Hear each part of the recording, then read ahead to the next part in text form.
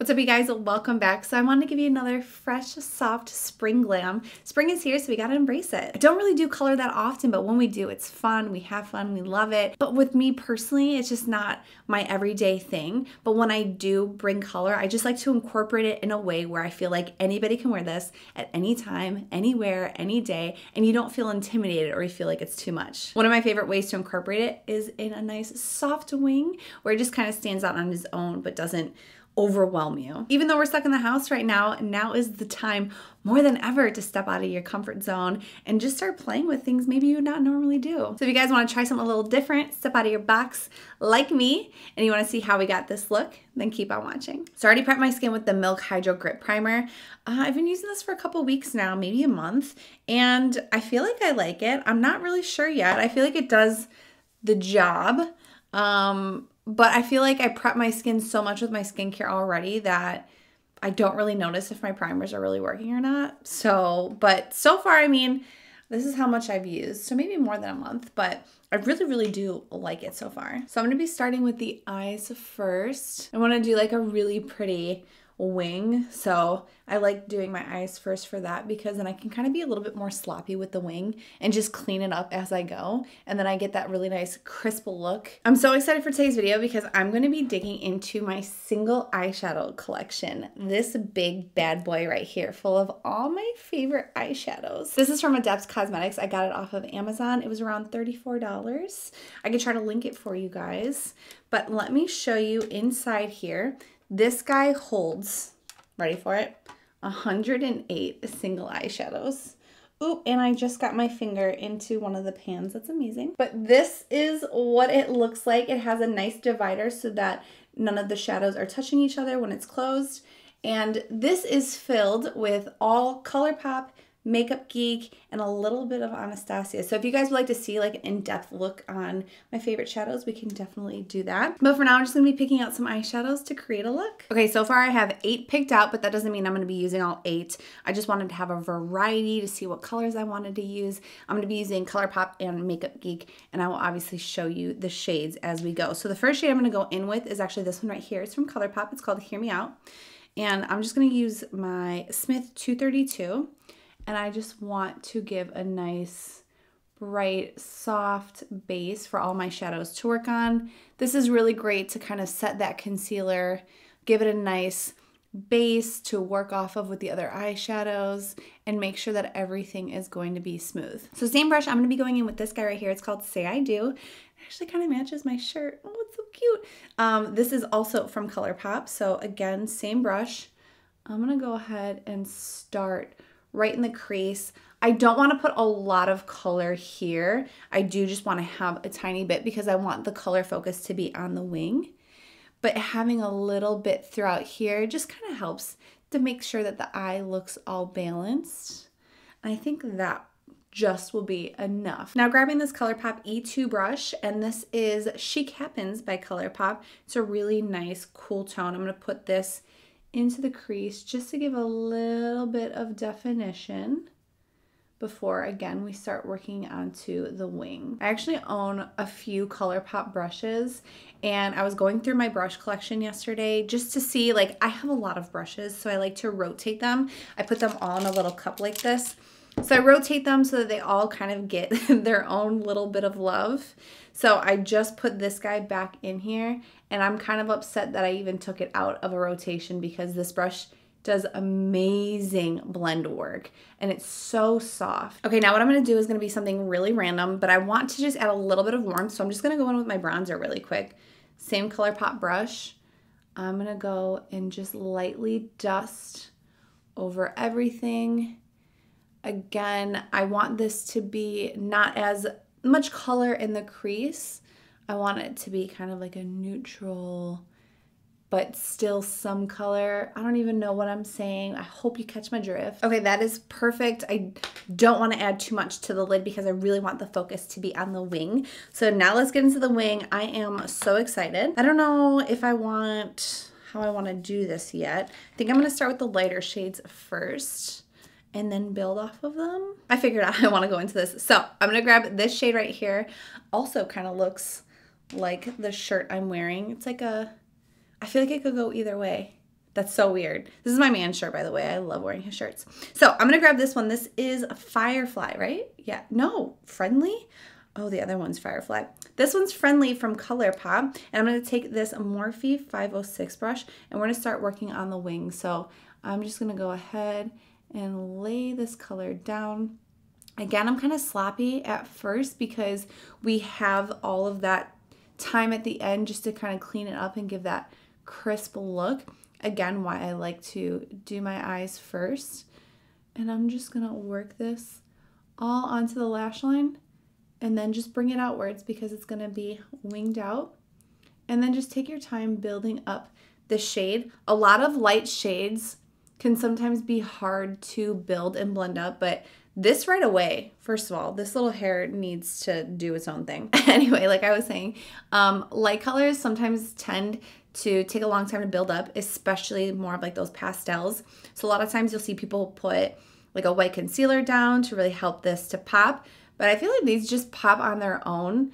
I'm not trying to go for like a super electric pastel look, so doing it just like this is fine for me. But if you did want the pastels to really pop more on your eye, just go in with a lighter concealer.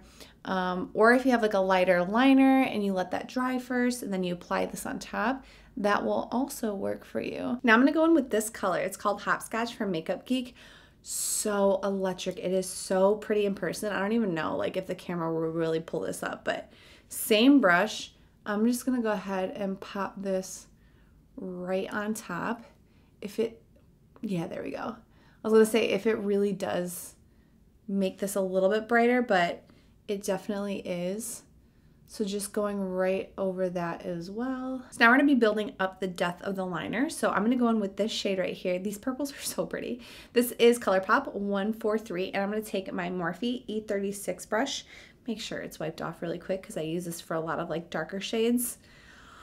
And if it was black, I'd have been real pissed about that. Now dipping right into there. And I'm just gonna go closer to my lash line now because I don't wanna go over those two shades that we put down. So I'm just gonna tuck it as tight as I can right along the lash line focusing, just pushing it in there. And I'm not to go all the way in. I'm just to go about halfway and really allow that first two colors to show through there. And then just build this outwards. Now, as you can see, I'm going through a lot of different purple shades with the tones. You don't necessarily have to do that. Like if you have one purple eyeshadow, you can just do the wing like that. But I like my shadows to really just like have that depth of all different multicolors in there. I feel like it gives more to the eyeshadow than just having that one shade, but that's just me. So again, like I said, if you only have one shade, just still do it the way I'm doing it. You don't have to go in with all of these. I just think it's fun to do it and I feel like at the end it looks so good. So one of the last shades I'm going to be using this purple. So we're going a little bit darker again to really give that depth into that wing. This is from Makeup Geek. It's called Curfew. And I'm going to grab this crown brush. It's just their deluxe, deluxe angled brush. And I'm going to go ahead and just dip right into there. And I'm going to now focus this closer to the lash line. So as you see, the darker we go, it's going to be um, closer and closer to the lash line because I don't want this to be a dark liner look. I want this to be fun and soft. This will just allow that structure of the wing to really pull through. So now that I have everything where I want it to be, I think this is like the perfect amount of color for the wing. I'm actually gonna go back in with that first shade that we used, the Hear Me Out from ColourPop. And then this is the ColourPop E1 brush.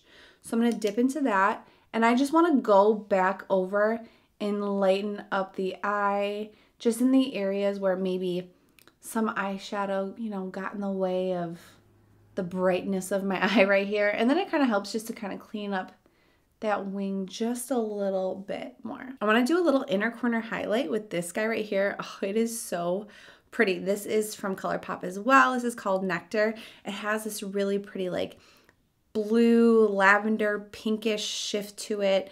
So I'm just going to go ahead and take that and I'm just going to pop it right on the tear duct just to give some more light there. And then it also just adds a little bit of that hue into the eye to kind of bring it all together. Then we just take the cleanup crew with a little bit of oil on a cotton pad and just swipe and get that nice crisp wing line. So before I put on some foundation, I want my skin to glow a little bit. So I'm just going to go ahead and apply this Charlotte Tilbury Hollywood Flawless Filter in the shade 3.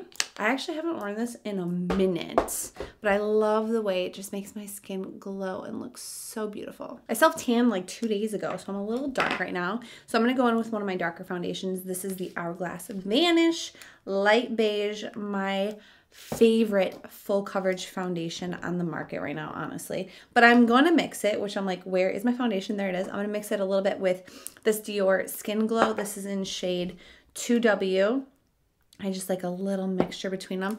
And that is all I use for foundation is just a little bit. You don't need a lot. And I feel like the less you use, but when you concentrate it in the right areas, you get a flawless finish. I have a couple active breakouts at the moment, so trying my best to cover them. They're right over here. They're kind of big. I don't know what that is all about, but I'm gonna have to do a mask later tonight. I know this is kind of random, but I'm sitting in front of my window and I'm noticing so many people walking, riding their bikes, walking their dogs, playing with each other. And I have never, in almost two years of living here, seen this many people outside doing active stuff. So for my concealer, I normally go in with my Too Faced Born This Way, but I want to switch it up and try something a little different. This is the e.l.f. Hydrating Camo. I've used this before in another video, but this is another color. This is actually the color light beige. So I want to see how well this color works. The other one that I had is Warm, Warm Nude. I really liked the formula when I used it. It's just way, way, way, way, way too bright, but it was the only color that they had at the time that was close enough for me. And then a couple weeks later, I went to a different store and they had more colors to choose from. So, so far I do like the formula. I think it's really nice, full, hydrating. Um, I didn't really have any issues with it. I feel like it does remind me of my Too Faced Born This Way concealer. So for someone who's looking for a dupe, like this is amazing. Now I'm to quickly contour, go in with my YSL Stick Foundation in B65 with my Rephr 04 brush. I just love this formula for contouring. It is so soft, so moussey, and I just think it is just, I don't know, like it's literally my favorite thing ever. I did recently kind of find somewhat of a dupe for it kind of in the drugstore. This is the Neutrogena hydrating stick. I really like this a lot. The only difference I would say between that and this is the Neutrogena one has somewhat of a waxy feel. And I noticed it when I accidentally put a little bit too much into my hairline because, you know, I'd be pushing this right into my hairline. Um, and it made my hair so weird. And when I like looked at it, in the mirror, like, you know, up close, it was just like this waxy film. So I thought that was kind of weird. Um, but I still really, really like it. I it's not like enough to make me want to stop using it. But then once I went back to the YSL one, I really did feel the difference in the quality. But I mean, you just gotta like pick and choose your battles, you know? Um, I think they're both great options, but I will definitely be repurchasing this again because this just again it's the it's a texture thing. I really really like this. All right to set per usual my rcma no color translucent powder. I've been trying to use other powders lately. Um one in particular that i have it's the anastasia one. And i feel like every time i try any other powder but the rcma one like i just don't like it. But I do know that some celebrity makeup artists like to mix some of their powders together. So I feel like if I took this with a little bit of Anastasia mixed with a little bit of Laura Mercier, I think I would really, really like it. But I just love the base of this. But one thing that I do like about the Anastasia one is I love the highlighting it gives. It really truly brightens up your under eye, but it's a little too drying for me. So that's why I'd have to mix it. And I don't use it that often because that. So you know what? I'm to make that a goal for myself. I'm to mix up a concoction of some setting powders and let you guys know. Now for bronzer, I'm gonna be using the Urban Decay bronzer. This is in the shade Sunkissed. I used this a lot heavily last year and then it went in my collection and I forgot all about it and then I refound it and I love it. So I'm gonna go ahead and apply this right where I put the contour. I think it's such a pretty bronzer color. I don't think I own any bronzers quite like this one. There's just something so soft yet bronzy and perfect. I actually just realized that I forgot to go in with my Charlotte powder. I like never do that before bronzer. So we're gonna go ahead and do that. This is the Flawless powder. It's in shade 02. This seriously makes a huge difference in your makeup. Even if it's just the slightest amount that you apply, it makes your skin, any skin texture, anything about your skin look so flawless. I cannot stress it enough. It is my it is my Photoshop. So before highlighter, I'm actually gonna go in with some blush because the highlighter that I'm gonna be using has like this dual purpose and I really want my skin just to kind of glow all over. So I'm gonna be going in with this blush. It's actually one of my newest purchases. It is called Spellbound from Makeup Geek. I actually wore it in my last like video that I did and it is so, so pretty. I don't know why I've never owned any Makeup Geek blushes before because they are amazing. So I'm gonna go in with my Rephr 05 brush and go ahead and apply it to the cheeks. And lately I've just been really applying blush. Blush is just the thing right now and I feel like I'm on board with it. It is so pretty just to give that nice flushed look. I'm a big fan. So for the highlighter, this is the one I was talking about. It is the Wet n Wild Hello Halo. This is in the shade After Sex Glow. Yeah, I think I got that right. After Sex Glow. It is so so pretty and pigmented and beautiful. So we're just going to dip into both of these. And I'm just going to go right over top a little bit of everything. I'm going so light-handed because I don't want any streaks. I don't want it to overpower. I just want this really beautiful subtle glow kind of everywhere. And like I said, this is pretty intense. So the lighter handed you go, the better just that really beautiful all over glow. By the way, I don't think I said it. This is the Morphe 510 brush. I love this brush for highlighter, although I need to get another one because I feel like I feel like this one went to shit pretty quick. So, but I haven't found one similar shape to this that I really like. So if you guys have any suggestions, let me know. So now I'm gonna go ahead and do my eyebrows and lashes off camera. I did just do an updated brow tutorial, so I'll link it for you guys above. So if you wanna check that out to see how I do my brows, go right ahead. But I will be right back. Okay, so now that we got the brows and lashes on, let's quickly set the face. Makeup Forever Mist and Fix. This is a, a brand new one, and I feel like I feel like the sprayer is different. This one really, really, really soaks your face. And since I just sprayed my face, I want to add a little bit more blush. Um, I like to do this at the end just to really revamp it since it's always the first to leave. So for lip, I want to keep this nude. I really want the eyes to be colorful and really stand out on their own. I'm trying to think of what nude I want though. I, I kind of want something that is neutral. So I was thinking about this one from ColourPop called Butter. It's one of my favorite colors ever. So I think that, or I was going between these two Maybelline shades, but I feel like one's gonna be, pull really warm and the other one's gonna pull really cool. And I just kind of want to be like right in the middle. So I'm just going to go ahead and take the Makeup Forever lip liner in the shade 3C and then just go ahead and pop that ColourPop lipstick in the shade Butter. Okay, yeah, this lip combo is exactly what I wanted. Again, I didn't want something to pull too warm, but I didn't want something to pull too cool. I just wanted it to be neutral so the eyes can shine. And it is so pretty. I feel like this is the perfect way to really incorporate color and to be fun without feeling like it's too much or it's too overwhelming. Purple is actually one of my favorite colors to work with in this industry because it is so universal. I haven't seen the color purple not work on anybody. Like it is so beautiful. There's so many different tones of purples that you can go with. If you're fairer to your deepest tones, purples are just they're just magical. They are the magic in the makeup industry. But I really love how this look turned out. It's just another really soft, fresh spring look that gets us in the mood for spring because spring is here so we must embrace it. Let me know in the comments below what your favorite fresh, soft spring looks are and what favorite tones you like. I feel like I like it all. My soft pinks, my soft purples. And then once summer hits, Those are fiery red oranges. Oh my God, I cannot wait to get into those looks. But this is it. That's all I have for you guys today. Do not forget to like, comment, and subscribe to all my videos if you guys like to see more. And do not forget to follow me on Instagram. My name is Amanda Devon on there. And that's it. That's all I got for you guys today. I will see you all in the next video. Bye.